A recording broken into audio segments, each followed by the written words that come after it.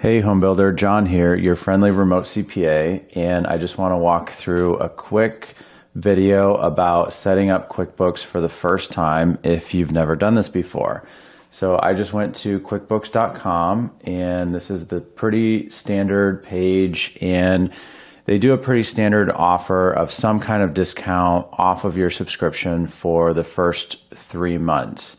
Now, if you work with an accountant or a bookkeeper who's a pro advisor, you might be eligible for an additional discount. Sometimes they give us a 50% discount that we can pass on to you for the life of your subscription.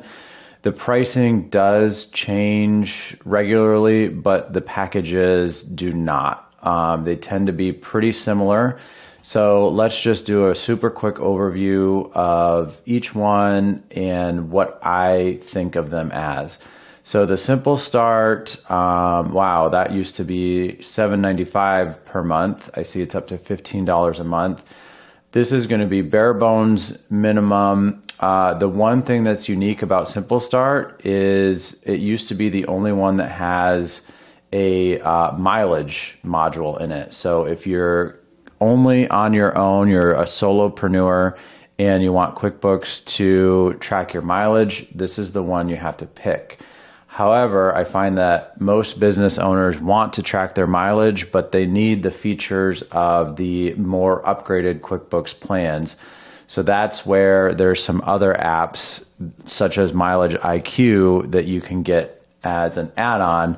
The only thing I caution with these apps is you want your business mileage to be the majority of your driving because it will ask you to classify each and every time you get in the car, whether or not you're driving for personal or business. So, it, for me, I ended up uninstalling it just because I don't drive nearly as much for business as a home builder does, but um, it is available. So, with Essentials, um, you start getting a few more features. Oh, actually, wow, they've uh, they seem to have mileage tracking on all of them. So uh, that's new. I wonder if it's the same module. Um, TBD on that.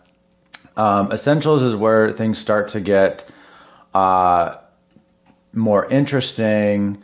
Um, and for a lot of home builders, this plan might work. Um, interestingly enough, the differentiating factor between Essentials and Plus used to be the budget module, which is one of my favorite modules in QuickBooks because it allows you to create a budget for your company. So I would recommend making a budget in QuickBooks for your overhead costs. That includes like your office rent, office supplies, utilities, travel, meals, things that cannot be directly allocated to a job.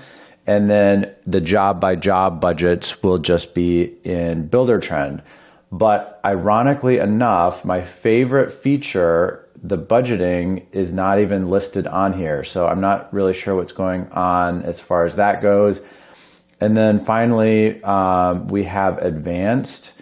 And the biggest differentiating factor here is that it includes up to 25 users. So that would be for a home builder who has quite a team.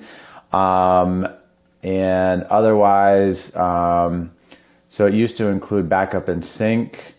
Uh, so that would allow you to copy your data to another QuickBooks file.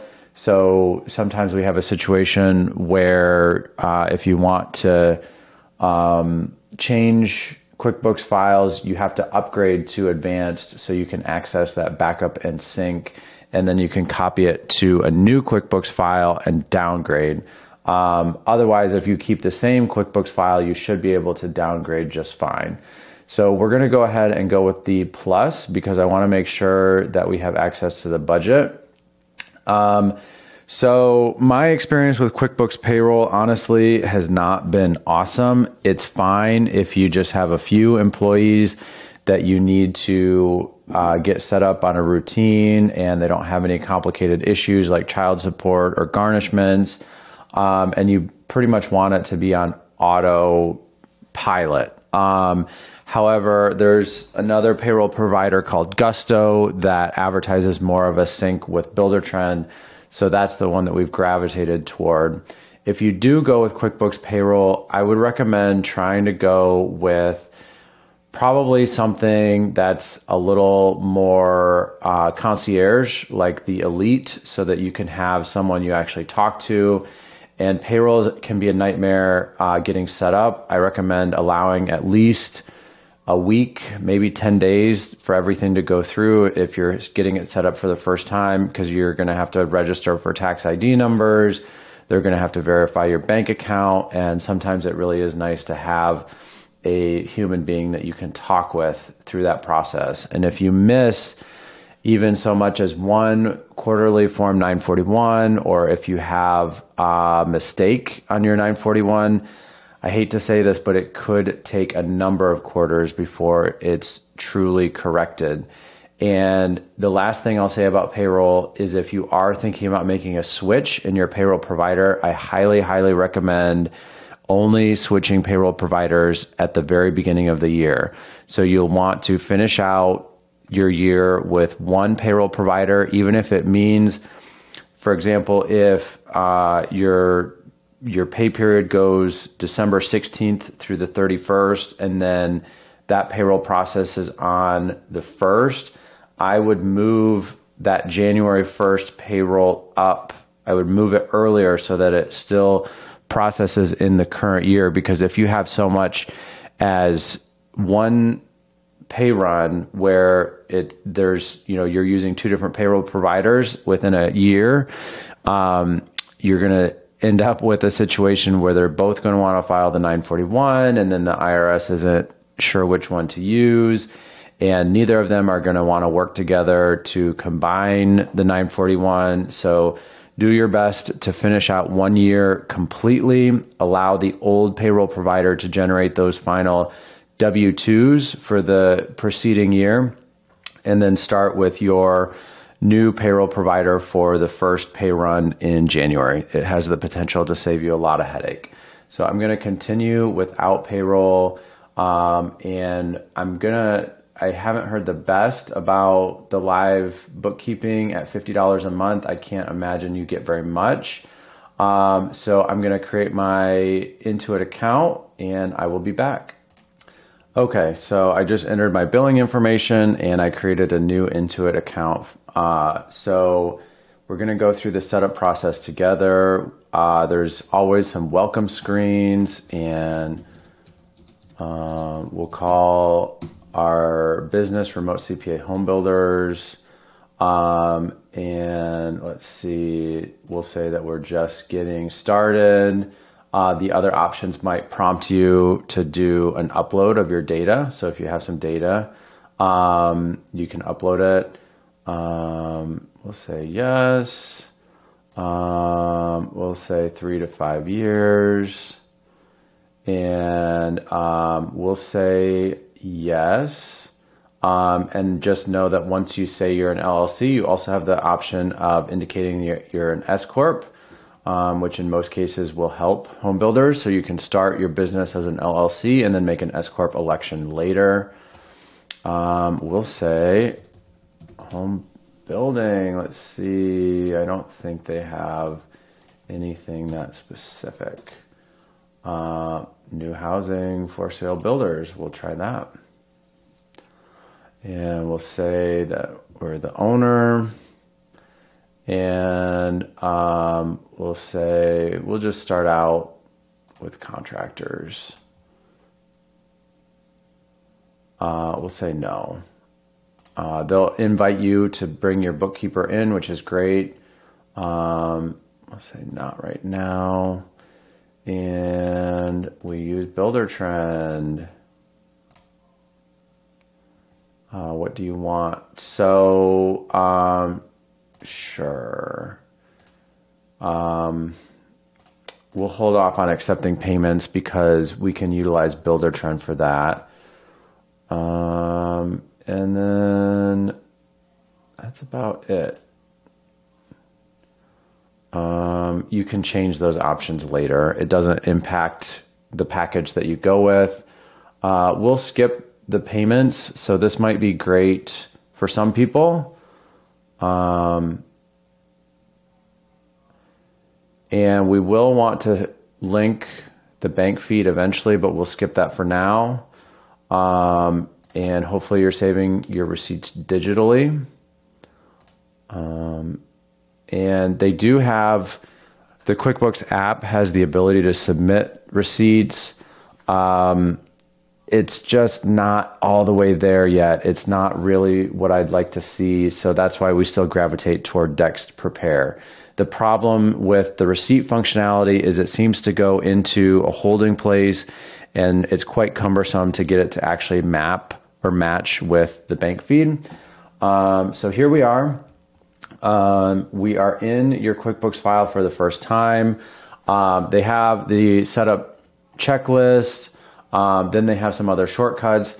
I will say this is one of the screens that seems to vary quite a bit from QuickBooks file to QuickBooks file. And always keep an eye out for these tabs that are here at the top. They've got a few different things. Um, and what we're not seeing is the old fashioned dashboard. So I think when we complete some of the setup features, we will eventually see that dashboard. So the last thing I'll mention as far as getting set up is you can come over here to the left and you can invite an accountant. You just want to check with them to make sure you're getting the same email address that they use as their Intuit login. And that's really helpful because it does not count as one of your designated users. Now, if you do want to use, if you do want to invite additional people at your company, say for example, you have an office manager or someone else that you want to give access to, uh, you can come up here into the gear icon and go to manage users. And that's how you can um, add people at your company. And then you can also see which accountants have access to your file. And you can inv- invite um, multiple accountants. So maybe you have an external bookkeeper and then you have a separate EA or CPA who does your taxes, and they both need access to uh, your QuickBooks file. You can do that. So as far as getting set up, um, next I would head over to transactions, and here's where you can connect a bank feed account. You can also upload transactions manually. I find this to be a lot less common, but there can be a use case for it. And we will have to talk about the bank feed in depth later. Just know that it's often a trap. A lot of people get tricked by the bank feed. It's advertised as a simple tool where you can add transactions from. The problem though is in order to sync with Builder Trend, we always have to map to products and services. And as of this recording, QuickBooks does not allow you to uh, add things from the bank feed and indicate a product and service. So if you don't indicate a product and service, that means that you're booking to an expense category and that will never show up in Builder Trend, which will do you a huge disservice if you cannot see job related costs in Builder Trend. And as mentioned, um, there's a few other tabs up here. At this point, you can get uh, into Reconcile uh, close to the bank feed. It's changed names a few times. It used to be called the bank feed. Now it's transactions.